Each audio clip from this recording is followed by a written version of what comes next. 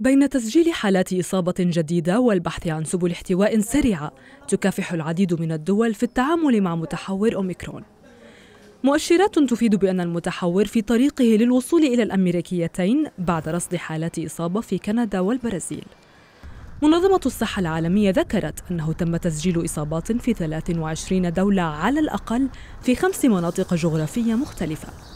المدير العام للمنظمة تيدروس أدهانوم توقع زيادة عدد الدول وحالة الإصابة.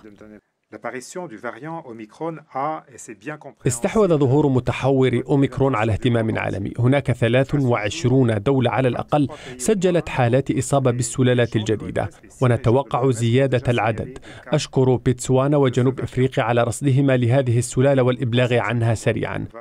ورغم توقعات زيادة الانتشار انتقد أدهان إجراءات منع السفر التي اتخذتها بعض الدول للتعامل مع السلالة الجديدة.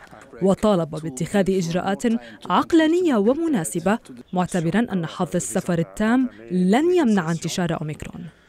نناشد جميع الدول أن تتخذ الإجراءات العقلانية والمناسبة والالتزام بقواعد منظمة الصحة العالمية لتأجيل أو تقليل انتشار هذه السلالة بما في ذلك الفحص قبل السفر أو عند الوصول أو عزل المسافرين. الحظر التام للسفر لن يمنع انتشار أوميكرون ويسبب أعباء كبيرة على الحياة ومتطلباتها.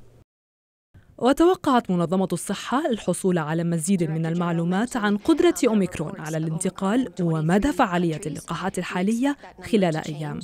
ويعد ذلك تطورا إيجابيا في التعامل مع أوميكرون. إذ كانت التقديرات السابقة تشير إلى أن الحصول على هذه المعلومات سيستغرق أسابيع.